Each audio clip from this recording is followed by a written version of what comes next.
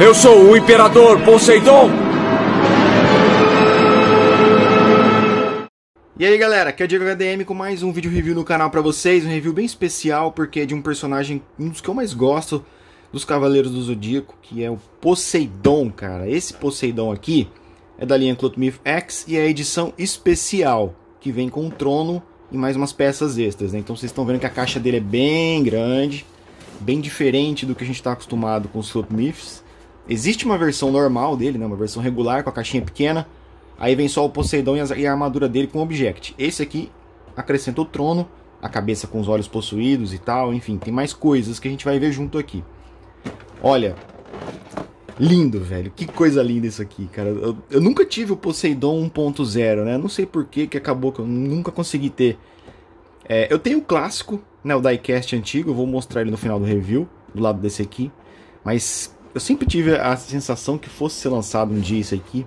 E tá na mão agora. Então vamos ver como é que ficou essa coisa linda, cara. Olha isso. Olha isso. É demais, né, cara? Em cima não tem nada demais. Do lado tem ele montado. Do outro lado a gente tem o Object. E atrás a linha, por enquanto. Né? Tem o Kraken também já. E aqui a ânfora de Atena também. A flecha de Sagitário na testa. Tudo isso é da edição especial, tá? Dessa edição aqui. Então vamos lá, vamos abrir. Se liga na quantidade de blisters que tem essa caixa, velho.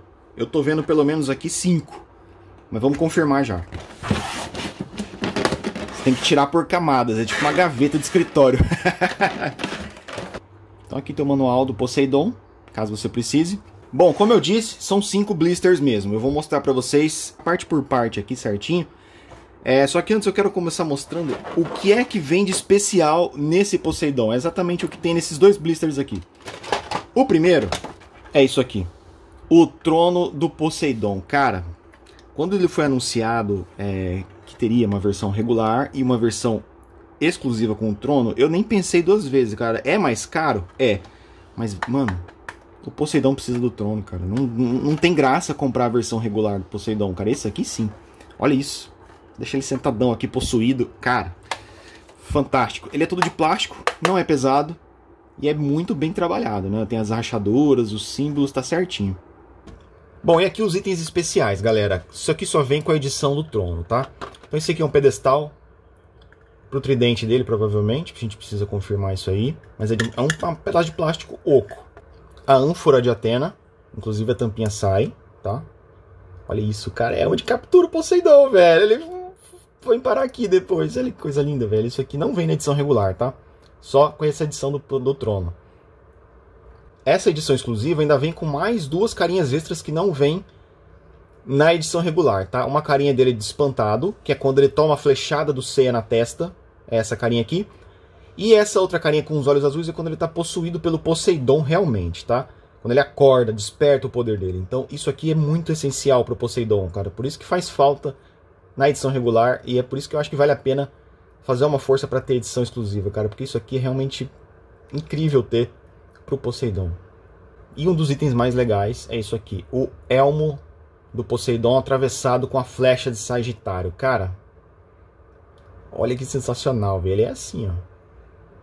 Deixa eu colocar aqui. Aí, mais ou menos isso aqui, né? Aqui tá seu cabelo aqui, sem a cabeça, mas é, é mais ou menos para fazer isso aqui. Fantástico, cara, fantástico. Tudo aqui agora tem nas duas edições. Então vamos lá, vamos começar.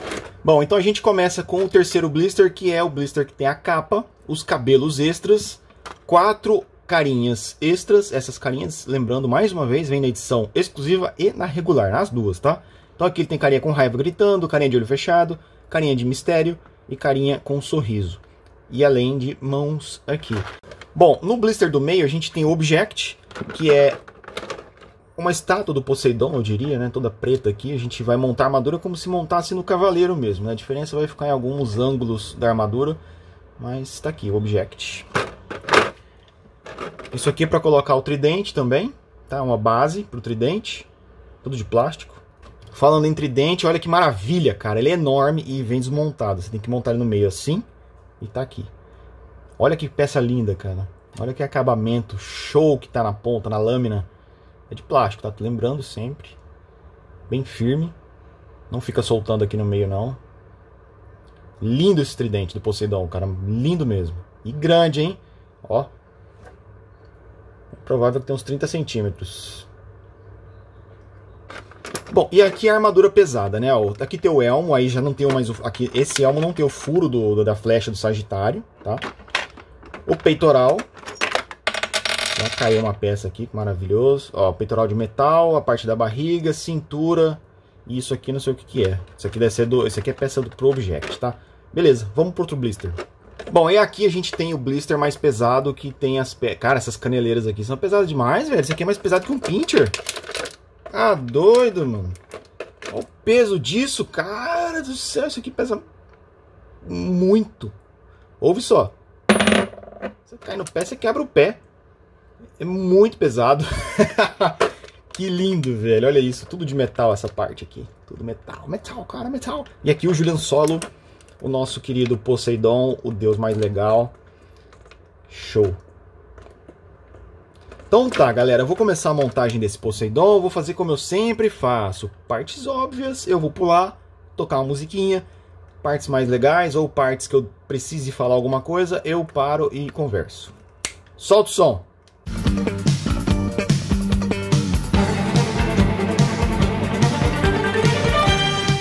Prontinho, galera. Voltando então aqui, montei as pernas e ficou incrível isso aqui, cara. Ele fica pesadaço, muito pesado. E a articulação não, não fica comprometida, ó. A gente tem os pontos de articulação normalmente funcionais aqui. Ah, a perna é só que ela não aguenta muito peso não, ó. Ó. Pesado mesmo, pesado pra caramba. O pé, né, tem articulação liberada aqui, não tem problema nenhum. Legal, né? Ficou lindo, cara. Essa cor laranjadona assim da armadura do Poseidon, eu acho demais, velho. Então vamos lá, continuando a montagem, solta o som.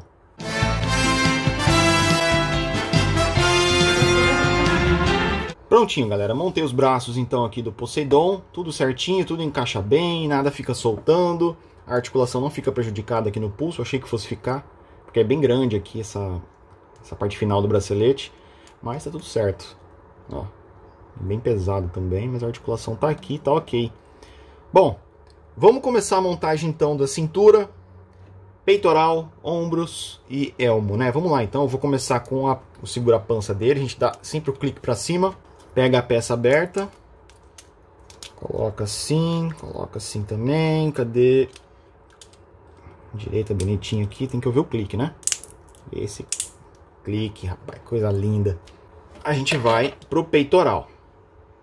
Então a gente abre o peitoral. Levanta esses braços aí, essa suvaqueira, levanta pra nós aí. Tira esses cabelos. Cara, tem que cortar cabelo, hein?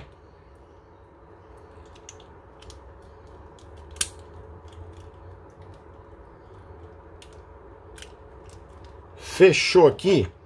Essa peça, galera, é só para no caso de você não querer usar a capa do Poseidon, tá? Por exemplo, para sentar ele no trono, eu acho que não dá para usar a capa. Vou testar isso, mas eu acredito que não dê. Aí você precisa usar essa peça aqui, ou não, tanto faz, não vai aparecer mesmo, né? Bom, aqui na cintura a gente tem que tirar o pininho de cima, a trava, né? Abre ela.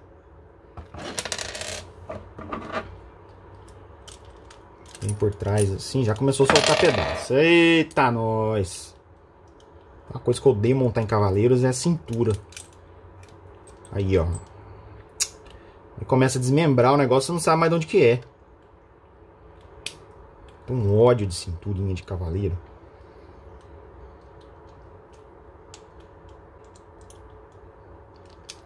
Eu odeio isso, velho!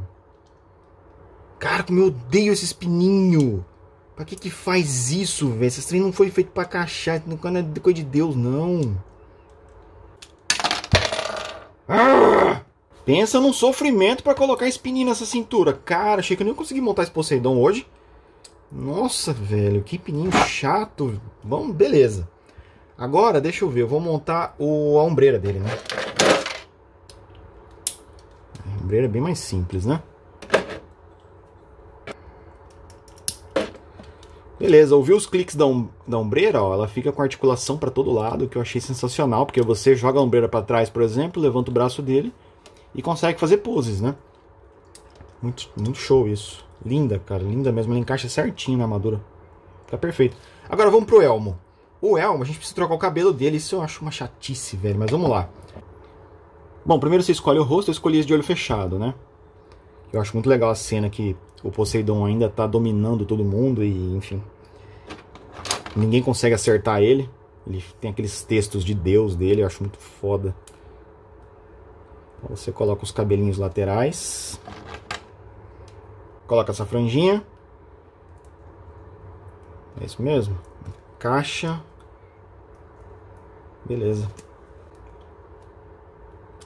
Encaixou a cabeça, pega o elmo, coloca no buraquinho de chave aqui. Olha que maravilha, o Poseidon tá montado, cara, eu não acredito. E aí fica a seu critério, você quer pôr capa? Vamos colocar capa pra gente ver como é que fica. Mas eu não vou usar, né? Capa você coloca no furinho aqui, ó, levanta a ombreira um pouquinho. E fica mais ou menos isso aqui com a capa, tá? A ombreira aqui. Fica muito bonito para deixar ele de pé, né? No caso eu vou deixar ele na, na, no trono, então vamos tirar a capa e vamos deixar ele no trono sentado. vou mostrar para vocês como é que faz. Mas antes a gente precisa colocar o tridente dele na mão. Como é que a gente faz isso? Simples. Desmonta. Coloca no furinho, escolhe a mão certa, né? Pra gente segurar o tridente dele. Aí depois você coloca na mão assim, pluga de novo. E seu Poseidon agora sim tá completo. Coisa linda! Coisa linda! Bom, deixa eu limpar essas peças aqui. Vamos colocar ele sentadinho agora aqui na... Peraí, vamos tirar aqui. Bom, como é que a gente faz para sentar o Poseidon no trono dele, né? Vamos lá, vamos fazer a pose aqui em tempo real. A gente tem que levantar as peças do saiote para poder mexer a perna, né? Você faz mais ou menos isso aqui, ó. Eu já coloquei a mãozinha do jeito aqui, né? Mãozinha para ele ficar segurando aqui. Posiciona as pernas dele assim, sentadinho. E aí você tem a opção de deixar ele segurando o tridente para cima ou deixar no colo, né? Deixa eu ver o que fica legal aqui. Deixa a ombreira posicionada. Assim, né? Cara, que peça sensacional, velho. É muito imponente, gente. É muito imponente isso aqui. Pelo amor de Deus. É muito, muito fantástico. Eu vou dar uma limpada aqui. Segura aí, já volto. Prontinho, galera. Coloquei o Poseidon, então, com as peças todas espalhadas aqui. Tudo do jeito certinho pra gente ver tudo que vem com ele ao mesmo tempo, né? Então, ó, a caixa tá de fundo ali, a capinha ainda tá com plástico, né? Não tirei. A gente tem suportes aqui para o Object, o Object está de pé. Todas as mãozinhas, né? Mãozinha para segurar o tridente, mãozinha para dar porrada, mãozinha de poder, enfim. Cabelo, todos os rostinhos extras que tem essa versão especial, o capacete, o elmo dele aqui com a flecha de Sagitário na testa.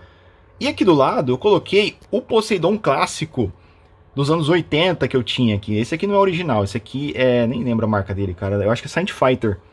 Enfim, a armadura é, é, A parte de metal da armadura eu sei que é Bandai, porque eu troquei com um amigo meu na época que eu era criança. Ela era mais laranjadinha, tipo a cintura. A cintura é Saint Fighter, né? Era tudo de plástico, era feio. Eu troquei tudo de metal aqui agora. Só que não para, ele desmonta inteiro, tadinho. Tá muito ruim. Mas eu tenho guardado há muitos anos, né? Desde quando eu era criança, então vai ficar para sempre comigo esse Poseidon clássico. Olha a diferença, cara. Evolução do tempo, né? Porque assim, isso aqui na época que saiu, era o supra-sumo dos brinquedos, cara. Era tudo que as crianças da época queriam, era isso aqui e enfim. Eu nunca vou menosprezar isso aqui. Eu sei que teve uma evolução grande e a gente tem que agradecer por isso ter existido para poder chegar nisso, né? Então vamos lá. Olha que coisa mais linda, cara. Esse Poseidon é realmente perfeito, visualmente falando, né? Eu não tenho o que reclamar, cara. A Bandai acertou em cheio a mão aqui. Eu tava louco para que isso fosse lançado. Já saiu tem um tempinho, lógico, né? Mas eu não tinha feito review para vocês ainda, agora tá aqui bonitinho no canal. E para mim, esse Poseidon, galera, é nota 10, tá? Ele é muito superior ao 1.0, mesmo que o 1.0 não tenha vindo para minha coleção, eu já vi de perto várias vezes, então eu sei que esse aqui tá mais bonito, com certeza, tá? Essa é a minha opinião. E ainda mais essa versão com o trono, a versão completa do Poseidon. Então, para mim é nota 10. Eu recomendo para todo mundo que é fã de Saint Seiya Cavaleiros, fã dos Club Mifex e tá querendo montar a saga Poseidon. Afinal de contas, a gente já tem quatro. Com certeza a Bandai vai querer completar essa coleção sim. Então, se você quiser comprar um Poseidon desse aqui, eu ainda não sei se acha, mas dá uma procuradinha na Geek Show, tá? Que é a loja que eu mais recomendo aqui no Brasil. Se não tiver também na Geek Show, você pode procurar a Tamashi Brasil, que é a, é a, outra loja que eu também recomendo aqui no Brasil. Se não tiver nenhuma das duas, galera, aí é porque esgotou mesmo, só Mercado Livre, tá? Ou BBTS. Você pode procurar BBTS que lá vai ter com certeza. Fica a minha recomendação de compra. Se não tiver o Poseidon nem na Geek Show nem na Tamashi, tem outras peças à venda lá que vocês vão com certeza gostar dos preços. Beleza? Então eu fico por aqui, espero que tenham gostado de assistir o review do Poseidon e em breve o do Kraken também, vai ser quase seguido. Um abraço, galera, se inscreve se não é inscrito, hein? Fui!